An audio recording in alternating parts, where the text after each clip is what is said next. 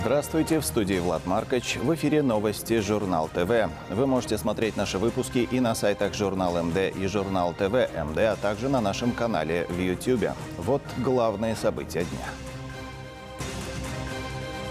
Молдова в числе других стран мира поддержала резолюцию Генеральной Ассамблеи ООН, осуждающую аннексию России украинских территорий. Против проголосовали только пять стран. В их числе сама Россия, Беларусь, Сирия, Северная Корея и Никарагуа. Ион Стратулат, главный подозреваемый по делу об убийстве в Страшенах, сегодня был экстрадирован в Молдову из Румынии. Он был объявлен в международный розыск и задержан в Румынии 24 августа. 900 тысяч яиц сальмонеллы и 165 тонн рыбы с паразитами выявили инспекторы Национального агентства по безопасности пищевых продуктов в ходе проверок нескольких складов с продукцией. Подробности расскажем в выпуске. Генеральная ассамблея ООН подавляющим большинством голосов осудила аннексию России территории Украины.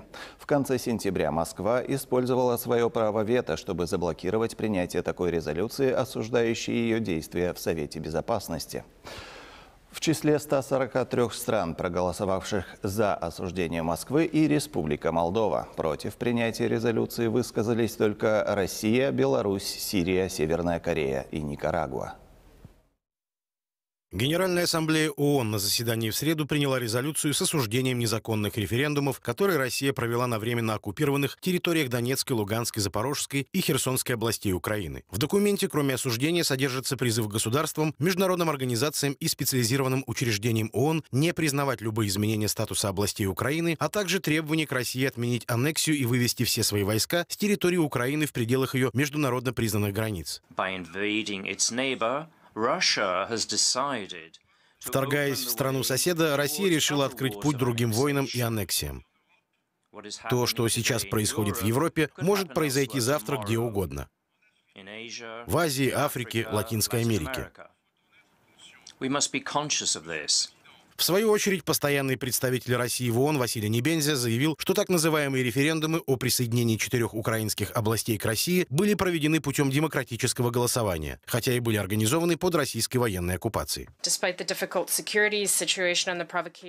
Несмотря на сложную ситуацию с безопасностью и вызовы со стороны киевского режима, подавляющее большинство избирателей от 76% в Херсонской области до 97% в Донецкой области показали, что жители этих регионов не хотят возвращаться в состав Украины Украины и сделали свой свободный выбор в пользу нашей страны. За резолюцию проголосовали 143 страны, против 5, воздержались 35 стран. Против голосовали Россия, Белоруссия, Сирия, КНДР, Никарагуа. Среди стран, осудивших Россию, была и Республика Молдова. Молдова поддержала меры ЕС, который настаивает на немедленном, полном и безоговорочном выводе российских войск с территории Украины, написал министр иностранных дел Нику Попеску на своей странице в Твиттере. Глава американской дипломатии Энтони Блинкин заявил, что что подавляющее большинство стран стоят на стороне Украины, защищая устав ООН и решительно противостоят войне России против Украины и ее народа. Любая ядерная атака против Украины вызовет настолько мощный военный ответ, что российские вооруженные силы будут уничтожены. Об этом заявил глава дипломатии ЕС Жозеп Барель на открытии Европейской дипломатической академии в бельгийском городе Брюгге. And it has to be clear Должно быть ясно, что те, кто поддерживает Украину, ЕС, его государства-члены, Соединенные Штаты и НАТО также не блефуют. Любая ядерная атака против Украины спровоцирует ответ. Uh, не ядерный ответ, но настолько мощный ответ с военной стороны, что российская армия будет полностью уничтожена. И Путину не стоит блефовать and Putin should not be bluffing. По словам главы европейской дипломатии, мир переживает серьезный момент в истории, и Европейский Союз должен продемонстрировать свою силу и решимость. Совершенно очевидно, что мы должны продолжать поддерживать Украину и продолжать искать дипломатические решения, когда это возможно. Пока их нет, но однажды это произойдет, и мы должны быть готовы действовать в отношении мирных переговоров, поскольку мы делаем все возможное для поддержки Украины. Мир нуждается в прекращении этой войны this war to stop. Жозе Борель продолжил свою мысль, подчеркнув, что миллионы людей по всему миру ощущают последствия войны, развязанной Путиным 24 февраля. Вы можете представить, что в настоящее время в Черном море находится более 100 судов, груженных двумя миллионами тонн зерна? Можете ли вы представить себе 100 кораблей? 100, а не 10. Суда ждут проверки в проливе Босфор перед тем, как зерно поступит на мировой рынок. В то же время люди ждут их, и некоторые могут не дождаться, поскольку зерно слишком долго проверяется. Люди умрут от голода, потому что зерно задерживается в ожидании контроля. Здесь я должен обратиться с призывом ко всем, кто участвует в процессе контроля, ускорить эту процедуру процедуру. Поторопитесь, потому что на другой стороне Босфора люди ждут еды. 21 сентября, объявив о частичной военной мобилизации в России, Путин напомнил, что Москва располагает различными видами вооружений и в случае угрозы ее территориальной целостности применит все имеющиеся в ее распоряжении средства. Это не блеф, отметил тогда Путин. В Брюге Жозеп Боррель торжественно открыл проект Европейской дипломатической академии, целью которого является подготовка будущих дипломатов ЕС в области внешней политики и безопасности. Сегодня утром российские войска атаковали Киев беспилотниками «Камикадзе» и нанесли ракетные удары по городу-порту Николаев. В то же время ВСУ объявили об освобождении пяти сел в Херсонской области. Продолжается контрнаступление на Восточном и Южном фронтах. Российский террор против нашего народа не останется безнаказанным, заверил президент Украины Владимир Зеленский. В результате ракетного обстрела повреждено пятиэтажное здание в городе Николаев. Спасатели вытащили 11-летнего ребенка, который находился под завалами в течение шести часов. Поиски еще семи человек продолжаются. Украина притягнет до відповідальності кожного российского. Украина привлечет к ответственности каждого российского убийцу и палача, от командующих до рядовых, выполнявших преступные приказы. Не забудем, кстати, и о пропагандистах террора. Все, кто оправдывает российский террор и подстрекает к агрессии, все, кто призывает к убийствам и поощряет издевательства над нашими людьми, будут отвечать на уровне с убийцами и палачами. Вся российская машина террора должна быть обезврежена и будет обезврежена. И будет знешкоджено. Город Николаев, расположенный на главной дороге, ведущей в Одессу, крупнейший порт Украины на Черном море, неоднократно подвергался обстрелам с самого начала войны, с 24 февраля. Блок коммунистов и социалистов потребовал сегодня заслушать в парламенте министра обороны Анатолия Насатова, секретаря Высшего совета безопасности Дарина Ричана и главу государства Майю Санду. Оппозиция просила, чтобы они высказались по поводу инцидента, произошедшего в понедельник, когда три российские ракеты пролетели через воздушное пространство Молдовы. Однако сначала депутаты от правящей партии попросили оппозицию четко сформулировать, что они думают о войне в Украине, агрессии России России и новых рисках для Молдовы. Чем закончился обмен репликами, смотрите в нашем репортаже. Прямо хотелось услышать их мнение, как они смотрят на это серьезное нарушение нашего воздушного пространства воюющими силами агрессора, ведущего завоевательную войну в нескольких сотнях километров от нас. И как они смотрят на их ситуацию и на все то, что они говорили гражданам все эти месяцы. Мы приглашаем официально от фракции сюда министра обороны господина Насатова, э, главу Высшего Совета Безопасности, кто у нас там, Речан, Речана или госпожу Санду. Пускай придут и расскажут нам об этом инциденте со всеми техническими подробностями. И тогда мы с вами вместе сможем выработать, возможно, единую позицию об этом прискорбном э, инциденте. До свидания. Вы покидаете нас, я так понимаю. Уходите за ракетами или куда? Республика Молдова а. Республика Молдова видела беспрецедентное количество беженцев. Теперь мы видим ракеты, пролетающие через наше воздушное пространство. А вы вместо того, чтобы называть вещи своими именами, если вы хотите, чтобы мы здесь, в парламенте, обсудили эти вопросы, вы должны начать с признания того, кто является сторонами конфликта и кто начал эту войну. И давайте хоть раз услышим, что вы осуждаете эту войну и осуждаете сторону, которая начала эту войну, то есть Российскую Федерацию. Депутаты от оппозиции так и не выступили с заявлением, осуждающим войну. Лидер коммунистов Владимир Воронин назвал пролет в воздушном пространстве Молдовы трех российских ракет ничем иным, как ложью. На днях три ракеты пролетели в воздушном пространстве Республики Молдова. Как вы это комментируете? А откуда вы это знаете? Об этом было объявлено. Кем? Министерством обороны Республики Молдова. Я не читал такого объявления. Ты читала его? Да, они объявили. Кто они? Министерство обороны. Где это объявление? Объявление. Проверьте официальные страницы. Вы не видели? Какие страницы? Господин Воронин, конечно же, вы видели. Я не видел информации Министерства обороны. Я не читал информацию от Высшего Совета Безопасности. Только разговоры, которые распространяете вы. Это разговоры, которые распространяют журналисты, да? Как и всю ложь в стране. Deci astea sunt vorbe răspândite de jurnaliști. De voi, da, de jurnaliști. Ca toate de țară. Cele trei ракеты, да, сурволат. Три ракеты пролетели. У нас есть доказательства. Мы видели траекторию. Украинские коллеги проследили ее, так же, как и румынские. Это опасность и атака на безопасность Республики Молдова. Как может быть в безопасности Республика Молдова в такой ситуации? Здесь есть два ингредиента. Первое — иметь партнеров и соседей, которые тебе помогут. И второе — нам необходимо усилить наши средства противовоздушной обороны средствами noastre de apărare антиаэриан. Члены партии ШОР не присутствовали на сегодняшнем заседании парламента. Они продолжают бойкот, объявленный почти два месяца назад. Дарина Стратулата, которая является главным подозреваемым по делу об убийстве в Страшенах, сегодня экстрадировали в Молдову из Румынии для предъявления обвинения. Его поместят в изолятор Кишиневского управления полиции. Дарин Стратулат, сын экс-полицейского Иона Стратулата и внук генерала Николая Алексея, был объявлен в международный розыск и задержан в Румынии 24 августа. По данным прокуратуры, решение об экстрадиции Дарина Стратулата было принято в среду 12 октября властями Бухареста.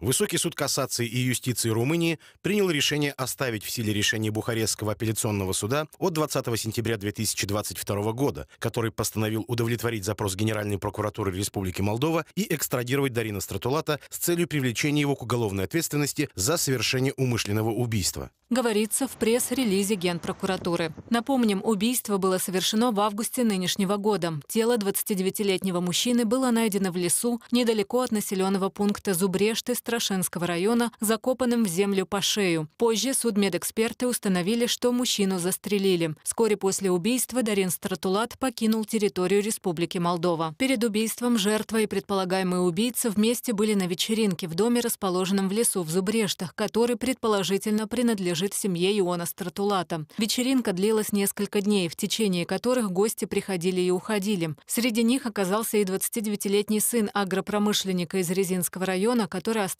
сыном бывшего полицейского, а также двумя девушками. Он был застрелен из собственного оружия. Рядовые граждане стараются использовать электричество более разумно. Некоторые сидят в темноте, другие реже пользуются электроприборами. И хотя эксперты говорят, что экономия – единственный способ преодолеть кризис, многие граждане не могут отказаться от использования электричества. Когда выходим из комнаты, выключаем. Когда возвращаемся, снова включаем. Экономим. Как раньше делали, так и сейчас. Больше не использую свет. Тяжелее приходится семьям с детьми. Тремя детьми не знаю, есть ли возможность экономить свет. Как экономить? Тостер отключаю от розетки, потому что не очень им пользуюсь. Если выхожу из комнаты, выключаю свет. В гостиной у меня два регулятора с минимальным и максимальным уровнем. Ставлю на минимум. Как экономим? Не включаем бойлер, только когда купаться надо. Телевизор, ну, холодильник работает постоянно. Люди должны адаптироваться к новым условиям, говорят чиновники агентства по энергоэффективности.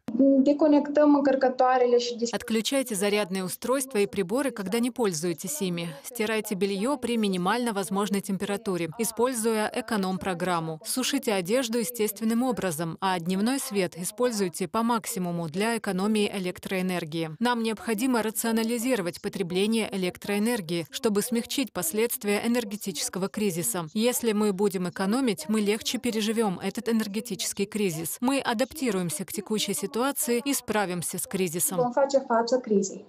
Недавно центральные власти призвали население Республики Молдова экономить электроэнергию, особенно в утренние часы с 7 до 10 и в вечерние с 18 до 23 часов. Это произошло после того, как Украина прекратила поставку электроэнергии в нашу страну после массированных обстрелов ее энергоинфраструктуры российскими войсками. В селах люди меньше жалуются и больше действуют. Даже если у них нет дров и угля, они спокойны. Есть кизяк. В этом году его сделали больше. Жители села Петросу Фалежского района говорят, главное, чтобы был мир, а кризис переживут, как сделали это в тяжелые 90-е.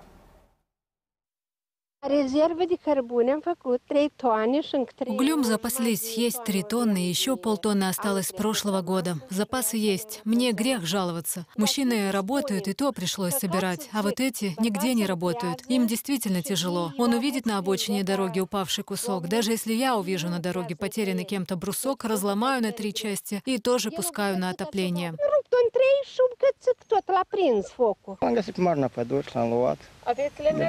Вот нашел на окраине леса и взял. Дрова есть дома? Да, я запасся. Был на рубке в лесу и зимой снова пойду, в делянку. Дают по прицепу с дровами. Вы работаете только ради дров, чтобы дрова получить? Денег не платят? Откуда деньги? Они не могут насытиться. Что еще нам дадут? Откуда нам дадут? Ну, сатру есть, надеюсь, но у нас не у этого мужчины трое детей. Они ходят в школу и детский сад. Семья пока сводит концы с концами, потому что держит дома скотину и птицу. Он лаптит всем три копейки. Лаптит Молоко сдаем за три копейки. А держите дома скотину? Сколько у вас коров? Есть корова, теленок, две лошади, несколько коз, птицы. А почем сдаете молоко? По 5 леев за литр. Когда бутылка воды сколько стоит? 9 или 10 леев. Вода выходит дороже молока. Да, апа и мяском поколапты. Очень тяжело. Вокруг дома ветки собираем. Так, ветки вокруг дома собираем, кизяк делаем. Сделали кизяк? Да, без проблем. Не надо делать трагедии, если нечем топить. Короче, знаете, что хочу сказать? И всем хочу сказать следующее. Главное, чтобы был мир и здоровье. Когда вижу, что творится в мире, сплю и думаю, а те люди проснутся или нет? Кошмар, что творится в мире.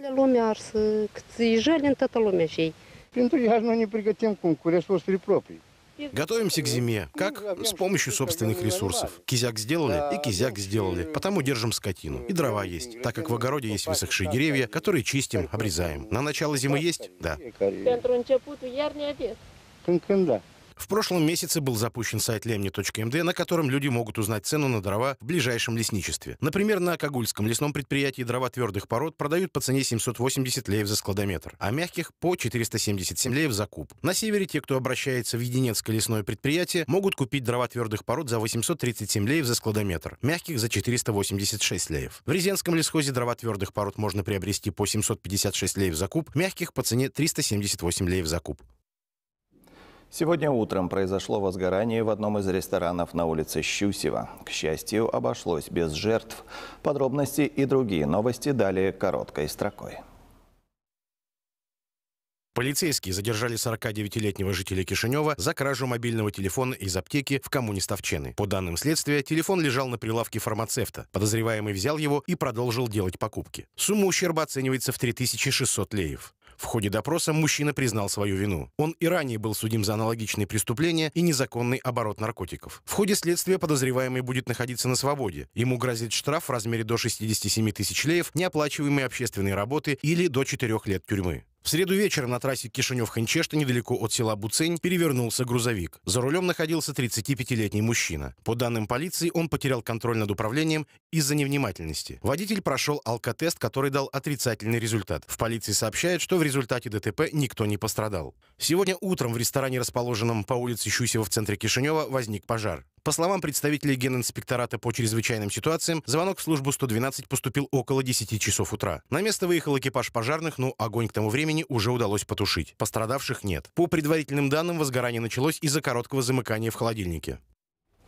900 тысяч яиц с сальмонеллой и 165 тонн рыбы с паразитами выявили инспекторы Национального агентства по безопасности пищевых продуктов в ходе проверок нескольких складов с продукцией.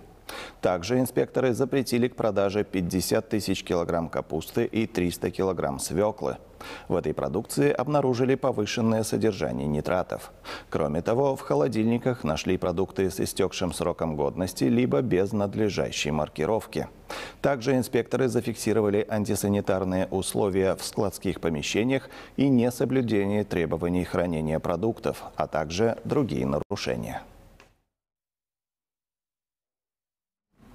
На этом у меня все, но не переключайтесь. Через несколько минут бухарестский ФКСБ у себя дома примет датский Силькиборг в рамках четвертого тура Лиги конференций.